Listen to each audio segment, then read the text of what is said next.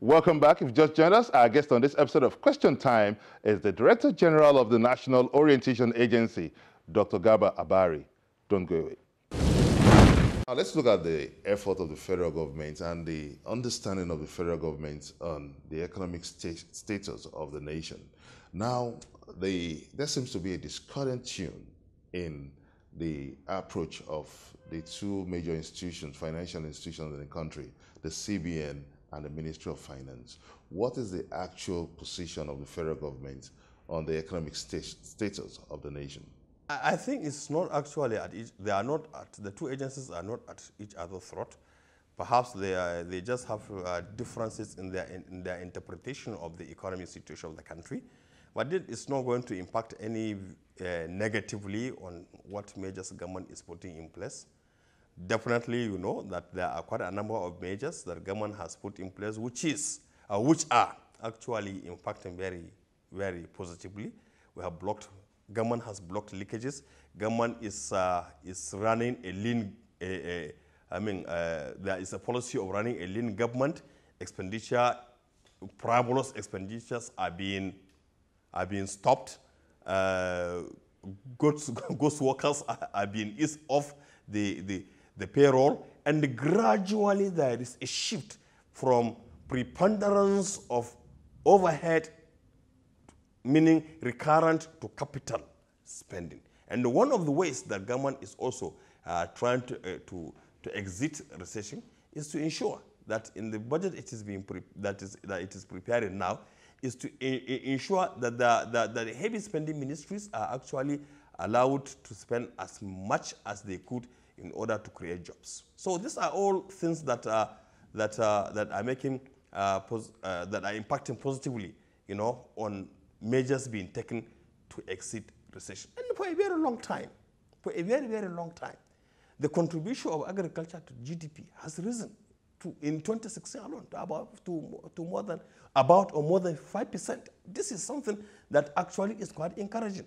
The issue of uh, uh, food sufficiency, self-sufficiency in food, you know, is very critical. Not only for the well-being of the citizens, but also even for the sovereignty of the nation.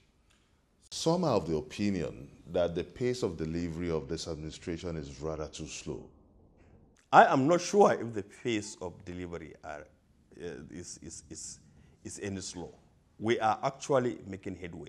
And a very serious headway for that matter, given the circumstances in which this country, look, before 2015, this country actually was decomposing. The country was decomposing. The country was dead and was decomposing. Decomposing. Is it our values? Is it our politics? Is it our economy? Is it our religion? Is it every aspect of our national life actually had completely, completely gone towards the abyss. Let's now look into the anti-graft war of the federal government. There's been allegations that the anti-graft war has been mostly selective. Could you put things in the proper perspective? I don't know what is selective about the war against corruption. Because they believe that some people, will, some people within the rank and file of the APC are moving about freely without being interrogated. Oh, because perhaps clear allegations of corruption against them. Yeah, because because if if if if, there have been definitely, if there are such kind of people, and the cases born and and and and the promo, what, what is it? Definite cases have been established against them, like all others that have been accused or have been accused. They will have their case in court they certainly will have their case in court. What do you make of the recent arrests of some judges by the DSS? I am absolutely in support. This country needs to be cleansed.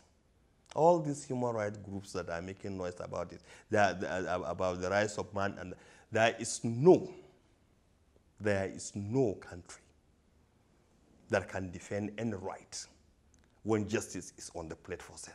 Some of the judges have cried out that they are being unnecessarily victimized and this is a political witch hunt, considering the fact that they are sitting on some sensitive cases in which the federal government and some APC has a stake in. It's not any judge that is presiding over any case that is the federal government is not. If there is any judge that is presiding over a case, he must be presiding over a case in which Nigerians will be interested and not the federal government. They are not, they are not serving the federal government. These judges are serving Nigeria. And if they do breach the, the, the, the, the mandate and the trust, definitely they are not serving the larger interests of our country and they must be dealt with according to the laws. Some of the judges have, have even alleged that some members of the APC and even some cabinet members made an attempt to bribe them. This is actually the cry of the drowning man that catches at a straw. These judges are going to have their days in court. Let them go and prove that. But definitely, this is the, the, the cry of the dying man. And why, whatever kind of straw he, that comes his way, he catches at it. The manner of arrest of the judges have elicited some controversy. Um, while the DSS is claiming that it was a snake operation, some people are saying that that was actually a Gestapo operation that was very unbefitting of someone of a judge's uh, of a judge status. What makes what makes any judge any more superior Nigerian than the other? What is what is it that places a judge in any higher pedestal than you, Gbenga, or any other person for that matter? Why should there be infractions and the laws should not be applied to them? There are clear cases of infractions that are being investigated. Prior to that time, had they been, had, had they been uh, arrested? Prior to that time, had anybody gone to their houses? Prior to that time, had anybody actually flanked any, any, any, any accusation against them? No. The DSS must have been working on information made available to it. And uh, like I have told you, there is no society that is safe. There is no society that can make progress. There is no society that can know peace where justice is on the plate for sale. Recently, the federal government launched the Change Begins With Me campaign. How does this address the problems confronting the nation from power, transportation, the aviation sector is in a state of, uh, is begging for desperate intervention, and also the economy. The change begins with me is exactly some of the issues that I have addressed at the commencement of the interview. All of us must have to sit down and reassess ourselves. What is it that, is, that we do at the end of the day that will either add value or distract the country?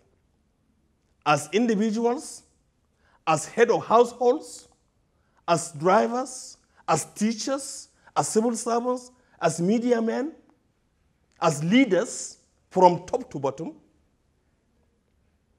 we have lost so much of our values. Everybody is talking about that. But nobody, no, we, we, we, only all lament. But if you change and I change, and the leaders themselves change and they live by example, we all follow in line. And that is why the change is beginning with them and it must change with them. Before we wind down this conversation now, looking ahead of 2019, what should Nigerians expect from this administration? What will be the greatest legacy that we should expect? A sane environment.